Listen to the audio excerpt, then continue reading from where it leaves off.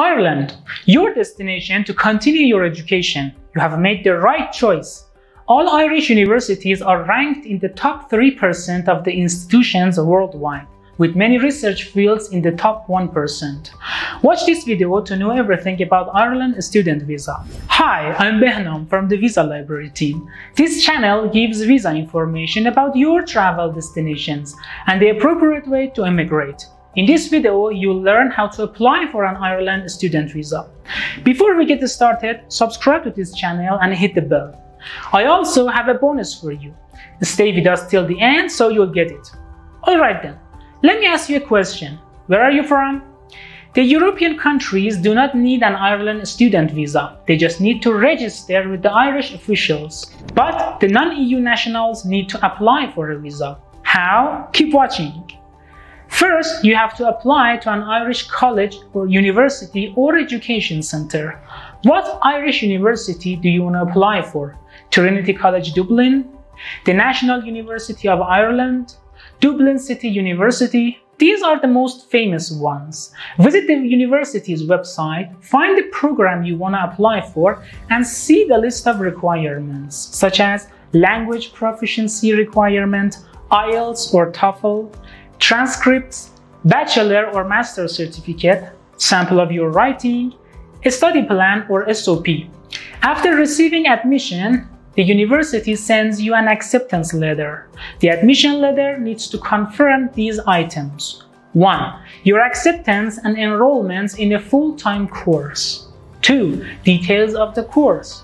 3. The amount of your tuition.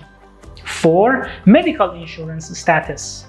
Now you can apply for an Ireland student visa. At this stage, complete the online application form on AVATS website. Don't rush to Google it. You can get the link from the description box. Complete it as instructions to reach the summary form page. Remember, you need to print, date, and sign the summary form and submit it with other supporting documents. The form will tell you how to submit your supporting documents and where to submit them. What are the supporting documents? Here is a list. Number one is the summary application form as I explained before. You need to print it after completing the online application form.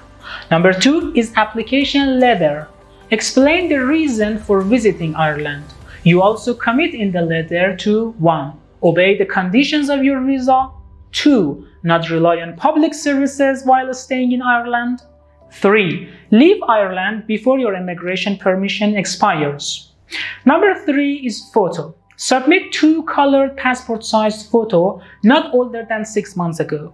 Number four is your passport. Your current passport with enough validity and a copy of previous passports is needed. Number five, documentation for educational gap. Is there a gap between your last period of full-time education and the time of your application to study in Ireland? What have you been doing at that time? Provide proof. Employment history or academic background can fill the gap. Number six is evidence of tuition payment. Submit a copy of the Electronic Transfer of Funds ETF to the Irish Bank of the college or university. It must include your name, address, bank details. Number seven is language proficiency test. Submit the result of the English language proficiency test if the course is provided in English. If the course is in Irish, you need a TEG certificate. Number 8 is financial independence. Submit evidence that you can pay the cost of your studies without relying on public funds or employment in Ireland. Bank statements or bank balance could prove it. Number 9 is private medical insurance. The university often covers it for you. If so, they must mention it in the admission letter. If not, arrange it yourself. Number 10 is previous visa refusal. If you have applied for a visa to any country and have been refused, submit the refusal letter. If not, your application will get rejected. Remember that the Irish officials have access to a large database. You would better be honest with your application. Number 11 is your birth certificate and marriage certificate in case you're married. Number 12 is the accommodation proof. Make it clear where will you stay. Submit the address you will stay in. Number 13 is the consent of the parents or legal guardians if you're under 18 years old. Submit a letter signed by both parents that they agree to your studies in Ireland. Copies of parents' passports and national identity card are also required. Number 14 is the translation. If you submit a document that is not in English or Irish, you must submit a full translation. These factors are necessary for the translation. 1. Confirmation from the translator that it is an accurate translation of the original document. 2. The date of the translation. 3. The translator's full name and signature. And number 4. The translator's contact details. The list of the documents ends here. You would better have a copy of the documents you submit.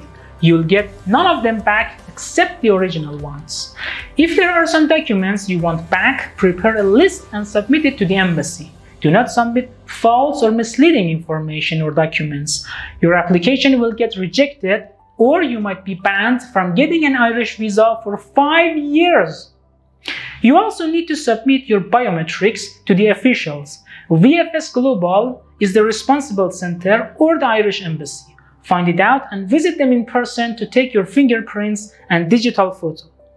Remember, when you arrive in Ireland, your fingerprints will be taken again to ensure the same person is entering the country.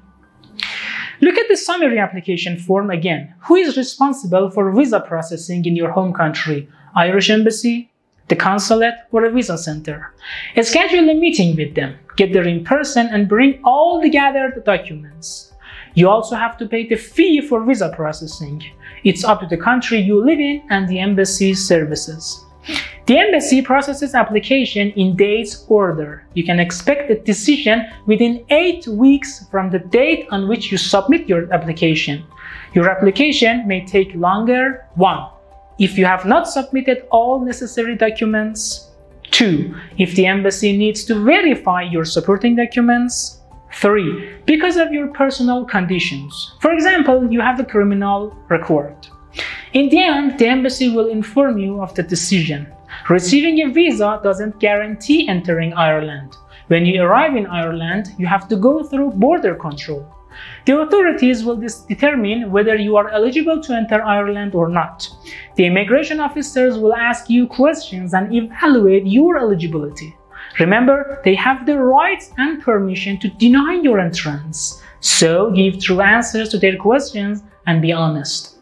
When the authorities at the border control permit your entrance, they will stamp your passport. It will state the legal length of your stay in the country. Alright then, this was all that you should know about Ireland student visa application. Before you leave, ensure to like this video. Mm, do you remember that I had a bonus for you at the beginning of this video? Download the free PDF file on Ireland student visa application from the link in the description. It's useful along the application process. Do you have questions? Write all of them in the comments section. The Visa Library team will get to them right away. Stay tuned for more videos and updates. Thank you all for watching.